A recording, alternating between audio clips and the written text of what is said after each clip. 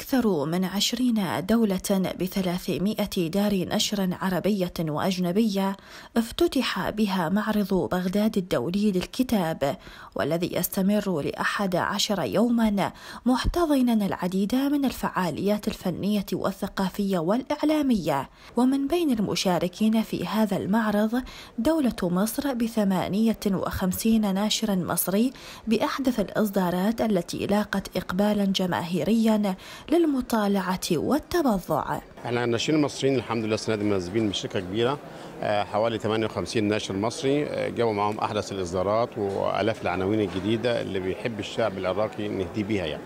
فاحنا مبسوطين جدا إن إحنا في المعرض إدارة منظمة جدا الكتب ممتازة جدا في وسط الشعب والإقبال ممتاز جدا يعني. الإقبال مبشر ودايما لما بنيجي العراق إحنا بنبقى متأكدين من نجاح المعرض يعني لأن الشعب العراقي شعب مثقف وشعب واعي.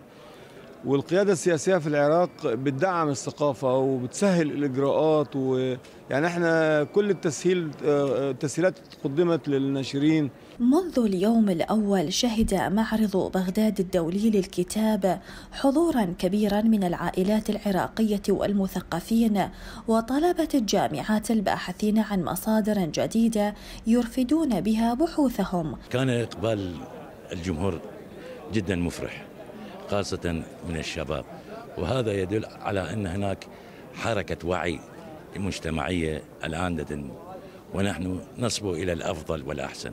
انطلاقا من هذا المعرض جاءت الدعوات بإعادة رونق المطالعة إلى سابق عهدها من خلال تأهيل المكتبة العامة وجعلها متاحة للجميع ورفدها بأحدث الكتب والإصدارات تشجيعا للقراءة للنهوض بفكر الجيل الجديد.